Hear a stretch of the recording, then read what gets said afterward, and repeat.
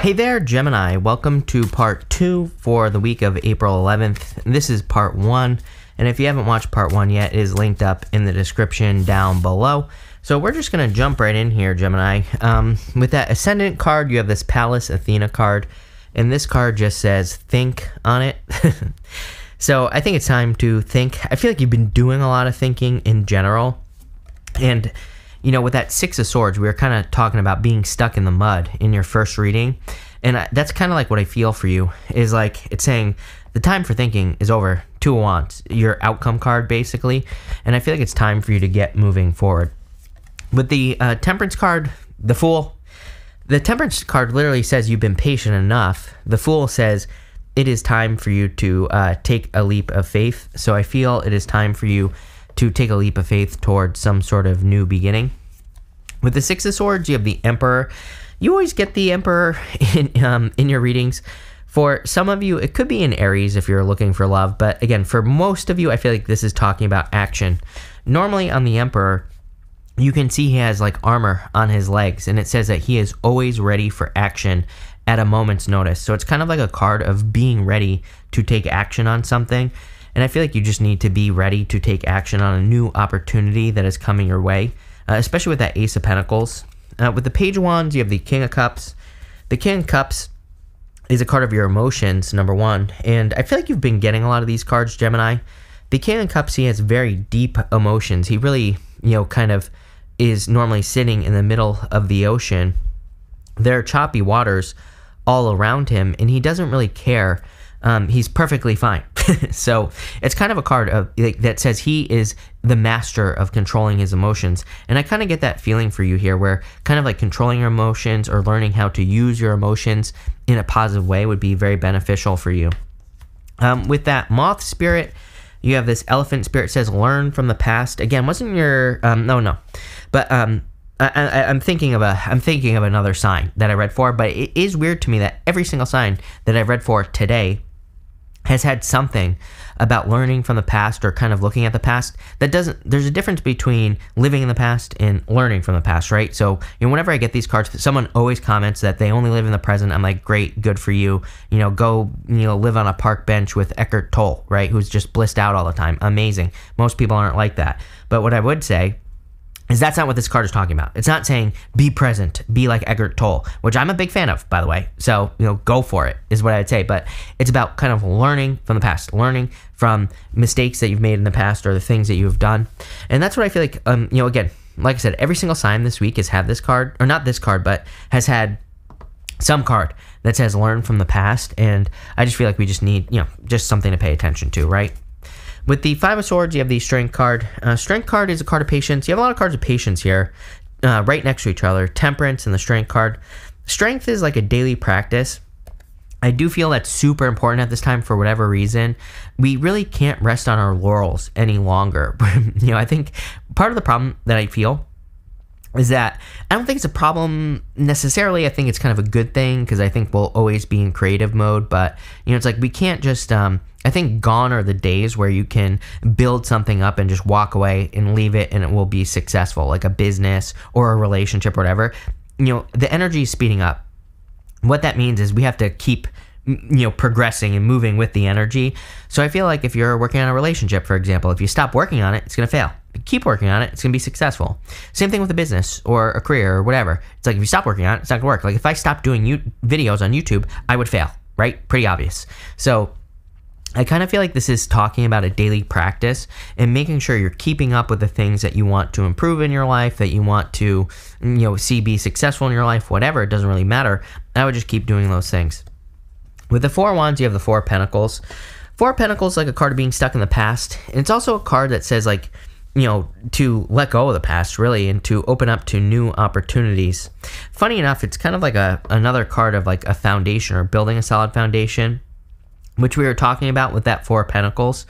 Again, learn from the past, but don't stay stuck in the past you know, I've said this a bunch, but I look at the King of Pentacles as a dinosaur. I don't hate the King of Pentacles, but at the same time, he sometimes reminds me of that energy of doing things exactly the same always for the past hundred years, like a dinosaur, right?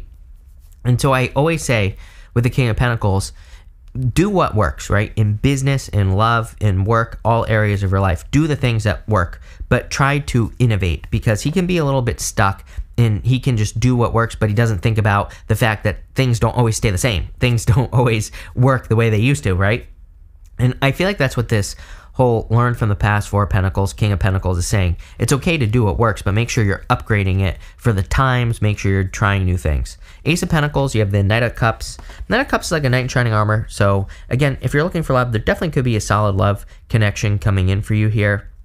It could be any sign. You basically have every single sign here at this point or every single element i should say the Knight of Cups is also a card of your dreams. He's normally dreaming of his future life. He's dreaming of the things that he wants to manifest or create in his life, and uh, he just needs to start working towards them. He's kind of like a card of planting seeds because normally he has water in front of him, but he's standing in the desert, and it kind of says like plant your seeds because even though you're in the desert, there's water right in front of you. Uh, with the table and the caterpillar, you have this vulture card. It says depression, anxiety, worry that someone is against you. No gossip this year. No worrying about people. Uh, you have this handshake card. It says a meeting with a stranger could be important. So you could be meeting a new person here, but I would be careful of the whole gossip thing. I feel like I say this to you all the time, Gemini. It's an energy that comes up for you quite a bit. So I'd be careful of that. But I would also be looking to connect with people who uh, can help you. So, you know, there you go. Uh, with the two wands, you have the um, Page of Pentacles, new beginning for sure you know, again, the two wands, I feel like is saying get out into the new world or, you know, get out and create something new. Page of Pentacles literally something new coming in for you. I do feel that there could be like a person who opens your eyes to a new opportunity. Again, another very common energy right now. Why? The, the answer is we're entering into this time of Aquarius. We have all this energy moving through Aquarius. We have heavy planets. Pluto will be moving into Aquarius uh, sooner rather than later, right? It's still going to take a little bit of time, but it'll be entering in there. So we have heavy energy in there. And the thing about Aquarius is it's the star, right? And so it's like inspirational or things that could be inspiring to us. So since we're entering into this time of Aquarius, what do we need to pay attention to? Inspiration. Things that we get excited about, things where we say, oh my God, I can do that, right? and so that's why this energy keeps coming up. People keep saying, all your readings are the same. I'm like, yeah, look at look at the astrology. Literally, all the planets are in like one part of the sky. Why do you think all the readings are the same? That's why, because the energy is the same. And again, it's important that we pay attention to this because, again, it's just inspiration. The problem with inspiration is you could look at an opportunity and say, that's great, I want to do that, I'm inspired to do it, but then you actually have to do it, right? So pay attention to these things that you are inspired to do. It is all that Aquarius energy inspiring you to action. If you do it, you'll be probably, you know, more successful than ever. I keep talking about this, how, you know, I believe personally everybody always talks about the 1% as far as the wealthy are concerned. I, I think that eventually what's going to happen is we're going to see the 60%. It's going to be like 60, 40. There are always going to be people who you know, want to live in the woods. There's always going to be homeless people and things like that. That doesn't mean we shouldn't help those people, by the way. But, you know, the, it's always going to happen. There's always going to, you know, it's always going to exist. But I think there's going to be more fairness as far as wealth and inequality is concerned, right? So it's going to be more like 60, 40. It's going to get better, which is definitely an improvement. Um, but again, it's because of all this inspirational energy that's coming in, right? So part of that is, you know, as I say to everybody else, you also have to become an inspiration. You have to take advantage of the inspirations that come into your life and be an inspiration for other people so that we can get closer to that like 60, 40, whatever you want to call it. it might be better than that. I don't know. With the uh, Three of Pentacles, you have the Ace of Swords, definitely a victory coming in for you. I feel like you're starting to live your truth. Like, you're starting to live the life that you actually want to live. So, you know, I feel like that's it. That's all I get here is the truth. And I feel like it's your own inner truth. With the King of Pentacles, you have the uh, High Priestess, so definitely time to trust your intuition. Everybody's been getting the High Priestess. Uh, we have Neptune and Pisces, and so I just feel that it's a very intuitive time. I feel like pretty much all of us could be getting intuitive messages, intuitive hits. We could be, you know, having intuitive dreams, whatever you want to call it and I would just pay attention to those things. Uh, I want to get like a final outcome here. I'm just a little bit nosy here, Aquarius. Uh, Aquarius, oh my god, Gemini.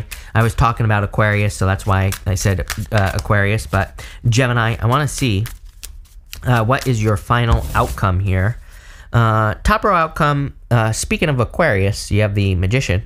so Gemini, you are creating your own reality at this time. Be very careful with your words. Neptune and Pisces is manifestation on steroids. I keep telling people be careful with your words because you're going to be manifesting things very, very quickly and that is definitely the magician. Definitely in a new beginning coming in for you. Middle row, nine of cups, make a wish. I feel there is definitely a wish coming in for you, or wish fulfillment coming in for you. I also just get like a lot of enjoyment I feel like you need to do things that you enjoy more as well with this energy.